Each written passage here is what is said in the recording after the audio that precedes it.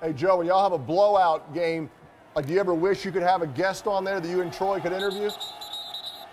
Yeah, you know, the last time I thought about that was when you guys played Seattle at the Super Bowl. Ooh, shots. Shots fired. yes. You just went up a notch in my book, about, Joe. Oh, one more I, I get it. trying right, to get trying to get on Eli's good list, trying to get my mom to send you a Christmas card after all the abuse you've given Eli. I get it. I get it.